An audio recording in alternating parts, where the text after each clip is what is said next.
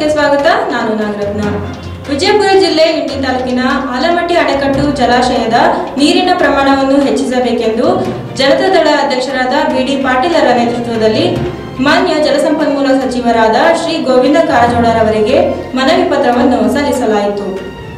ವಿಜಯಪುರ ಜಿಲ್ಲೆಯಲ್ಲಿ ಬರುವ ಅನೇಕ ತಾಲೂಕುಗಳಾದ ಇಂಡಿ, ಸಿಂದಗಿ ಚಡಚಣ ದೇವರೈಪರಗಿ ಮುದ್ದೆಬಿಹಾಳ ಈ ತಾಲೂಕುಗಳಲ್ಲಿ ಈ ವರ್ಷ ಮಳೆ ಪ್ರಮಾಣ ಕಡಿಮೆಯಾಗಿದ್ದು, ಮಹಾರಾಷ್ಟ್ರ ರಾಜ್ಯದಲ್ಲಿ ಮಳೆ ಪ್ರಮಾಣ ಹೆಚ್ಚಿಗೆಯಾಗಿದ್ದು, ಆಲಮಟ್ಟಿ ಜಲಾಶಯಕ್ಕೆ ಹೆಚ್ಚಿನ ಪ್ರಮಾಣದ ನೀರು ಹರಿದು ಬರುತ್ತಿದ್ದು, ಈಗ ನೀರಿನ ಶೇಖರಣೆ ಮಟ್ಟ ಐನೂರ ಹತ್ತೊಂಬತ್ತು ಇರುತ್ತದೆ.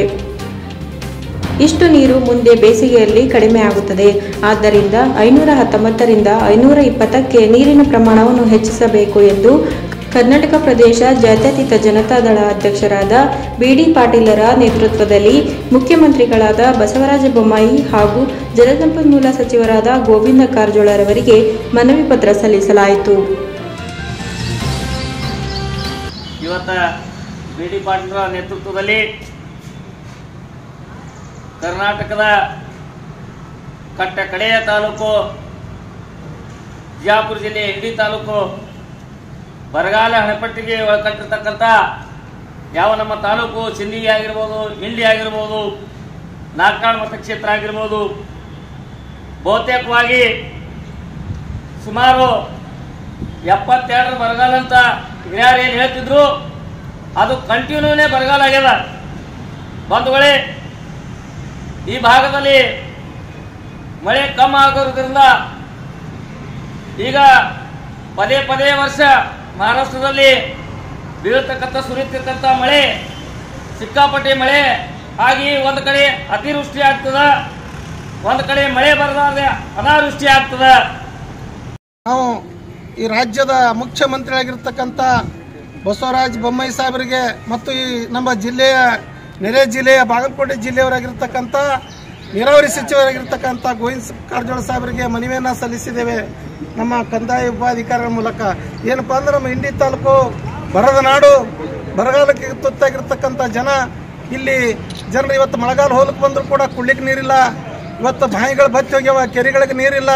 ಈಗಾಗಲೇ ಐದುನೂರ ಹತ್ತೊಂಬತ್ತು ಟಿ ಎಂ ಸಿ ಆಲಿಮಟ್ಟಿಯಲ್ಲಿ ಇವತ್ತು ನೀರು ನಿಂದಿರ್ಬೇಕಾಗಿತ್ತಂದ್ರೆ ಇವತ್ತು ಯಾರಾದ್ರೂ ಕಾರಣ ಆಗಿದ್ರೆ ಈ ಮಾಜಿ, ಈ ದೇಶದ ಮಾಜಿ ಪ್ರಧಾನಮಂತ್ರಿಯಾಗಿರ್ತಕ್ಕಂಥ ದೇವೇಗೌಡರ ಕಾರಣ ಅಂತ ಹೇಳ್ತೀನಿ. ದೇವೇಗೌಡರು ಅವತ್ತಿನ ದಿವಸ ಪ್ರಧಾನಮಂತ್ರಿಯಾಗಿ ಸಾವಿರಾರು ಕೋಟಿ ಕೊಟ್ಟಿತ್ತಲ್ಲಂದ್ರೆ ಇವತ್ತ ನಮ್ಮ ಇಂಡಿ ತನಕ ಇವತ್ತು ಕೃಷ್ಣ ಪ್ರೊಜೆಕ್ಟ್ ನೀರಾವರಿ ಆಗ್ತಿತ್ತಲ್ಲ, ಇವತ್ತು ನಾವು ಮತ್ತೆ ಬರದ ನಾಡಿಗೆ ಇವತ್ತು ಅಲ್ಲೋಲಕಲ್ಲ ಆಗ್ತಿತ್ತು. ಅಂತ ಒಂದು ಮಾಜಿ ಪ್ರಧಾನಿಗಳ ಒಂದು ಹಣ ಬಿಡುವುದರ ಮೂಲಕ ನಮ್ಮ ಇಂಡಿ ತಾಲೂಕಿಗೆ ಅರ್ಧ ನೀರಾವರಿ ಆಗಿದೆ.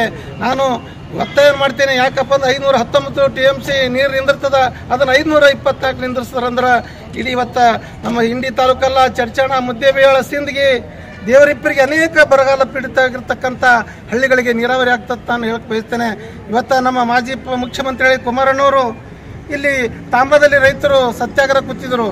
ಏನಂದ್ರೆ ಗುತ್ತಿ ಬಸವಣ್ಣ, ನೀರಾವರಿ ಆಗ್ಬೇಕು ತಿಳ್ಕೊಂಡು ಅವಾಗ ಕುತ್ತಕರ ಇವತ್ತು ಸ್ವತಃ ಮುಖ್ಯಮಂತ್ರಿ ಆಗಿ ಇವತ್ತು ಹೆಲಿಪ್ಯಾಡ್ ಮೂಲಕ ಬಂದು ಅಲ್ಲಿ ರೈತರಿಗೆ ಇವತ್ತು ಸತ್ಯಾಗ್ರಹ ಎಬ್ಬಿಸಿ ಅಲ್ಲಿ ಕೋಟಿ ನೂರಾರು ಇವತ್ತು ಸಾವಿರ ಕೋಟಿ ಹಣ ಬಿಡುಗಡೆ ಮಾಡಿ ಗುತ್ತಿ ಬಸವಣ್ಣ ಚಾಲನೆ ನೀಡಿದ್ರು. ಆದ್ರೆ ಇವತ್ತು ಅನೇಕ ಮುಳವಾಡ್ ನೀತ ನೀರಾವರಿ ಆಗಿರ್ಬೋದು ರೇವಣ ಸಿದ್ದೇಶ್ವರ ಆತ್ ನೀರಾಗಿರ್ಬೋದು ಚಿಮ್ಮಲಿಗೆ ಎತ್ ನೀರಾಗಿರ್ಬೋದು ಕೆರೆ ತುಂಬುವಂಥ ಅನೇಕ ಯೋಜನೆಗಳು ಕೂಡ ಇವತ್ತು ನಮ್ಮ ಜಿಲ್ಲೆಯಲ್ಲಿ ಜಾರಿ. ಆದರೆ ನಮ್ಮ ಎಂ ಬಿ ಪಾಂಡ್ರು ನೀರಾವರಿ ಸಚಿವರಾಗಿದ್ದರು ಹಿಂದಿನ ಸರ್ಕಾರದಲ್ಲಿ, ಅವರು ಕೂಡ ಈ ಜಿಲ್ಲೆಗೆ ಹೆಚ್ಚಿನ ಹಣವನ್ನು ಬಿಡುಗಡೆ ಮೂಡುವ ಬಿಡುಗಡೆ ಮಾಡುವ ಮೂಲಕ ಕೆರೆ ತುಂಬು ಯೋಜನೆ ಅನುಷ್ಠಾನ ತಂದರು. ಗುತ್ತಿ ಬಸವಣ್ಣ ಕಾಲುವೆಗಳಿಗೆ ನೀರು ಹರಿಸೋ ಯೋಜನೆ ತಂದರು. ಆದರೆ ಇವತ್ತು ಕಾಲುವೆಗಳು ಆಗ್ಯಾವ. ಇವತ್ತು ನಮ್ಮ ಗುತ್ತಿ ಬಸವಣ್ಣ ಕಾಲುವೆ ಒಂದೂರ ಇಪ್ಪತ್ತೇಳು ತನ ಆಗ್ಯದ. ಆದರೆ ಒಂದು ಹನಿ ಕುಡ್ಲಿಕ್ಕೆ ನೀರಿಲ್ಲ. ಯಾಕಂದ್ರೆ ಲಿಫ್ಟ್ ಅದ. ಲಿಫ್ಟ್ ಇದರಲ್ಲಿ ಇವತ್ತು ನೀರಿಲ್ಲ ಅಂತ ಹೇಳ್ತಾರೆ. ಅದಕ್ಕಾಗಿ ನಾನು ಸರ್ಕಾರಕ್ಕೆ ಒತ್ತಾಯ ಮಾಡ್ತೇನೆ. ಐನೂರ ಇಪ್ಪತ್ನಾಲ್ಕು ಟಿ ಎಂ ಸಿ ನೀರು ನಿಂದಿರುವಂಥ ವ್ಯವಸ್ಥೆ. ಆದ್ರೆ ನಮ್ಗೆ ಇಡೀ ನಮ್ಮ ಭರದ ನಾಡಿಗೆ ಬಿಜಾಪುರ ಜಿಲ್ಲೆ ಇಂಡಿ ಸಮಗ್ರ ಎಲ್ಲ ತಾಲೂಕುಗಳು ನೀರಾವರಿ ಆಗ್ತದೆ ತಿಳ್ಕೊಂಡು ನಾನು ಹೇಳ್ಕಪ್ಪಸ್ತೇನೆ ಕೂಡಲೇ ನಮ್ಮ ನೆರೆ ಬಾಗಲಕೋಟೆ ಜಿಲ್ಲೆಯವರಾಗಿರ್ತಕ್ಕಂಥ ಗೋವಿಂದ ಕಾರಜೋಳ ಸಾಹೇಬ್ರೆ, ದಯವಿಟ್ಟು ನಮ್ಮ ಆಲಿಮಟ್ಟಿ ಅಣೆಕಟ್ಟಿನಲ್ಲಿರ್ತಕ್ಕಂಥ ಐನೂರ ಹತ್ತೊಂಬತ್ತು ಟಿ ಎಮ್ಸ್ ನೀರನ್ನು ಐನೂರ ಇಪ್ಪತ್ನಾಲ್ಕಕ್ಕೆ ನಿಂದಿರುವಂಥ ವ್ಯವಸ್ಥೆ ಆಗಬೇಕು ತಿಳ್ಕೊಂಡು ನಾನು ನಾನು ಸರ್ಕಾರ ಪರವಾಗಿ ನಾನು ಜೆ ಡಿ ಎಸ್ ಪಕ್ಷದಿಂದ ಸರ್ಕಾರ ಆಗ್ರಹವನ್ನು ಮಾಡ್ತೇನೆ. ಇದಿಷ್ಟು ಈವರೆಗಿನ ಪ್ರಮುಖ ಸುದ್ದಿ. ಹೆಚ್ಚಿನ ಅಪ್ಡೇಟ್ಸ್ಗಾಗಿ ನೋಡ್ತಾ ಇರಿ ಧ್ರುವ ಇದು